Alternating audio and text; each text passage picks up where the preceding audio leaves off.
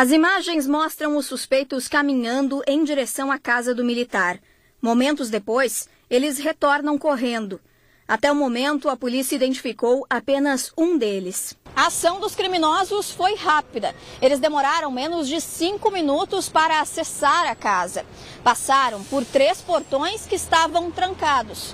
Por isso, a Polícia Civil tem certeza que as chaves foram entregues a eles por algum conhecido da vítima. A Polícia Civil ela apura é para saber quem facilitou ou quem entregou essas chaves para que esses criminosos é, conseguissem ingressar nessa residência. José Wilson da Silva foi assassinado em dezembro, três dias antes de completar 90 anos.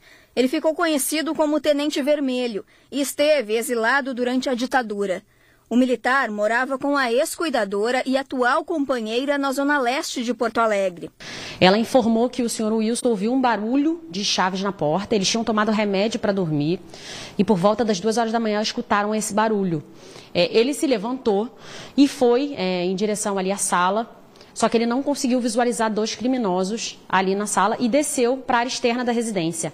Momento em que pegou um facão e bateu numa mesa, perguntando quem estava aí. Mais de 15 pessoas já prestaram depoimento, mas para que o inquérito seja finalizado, a polícia precisa do resultado de alguns exames que ainda não ficaram prontos, como a necropsia.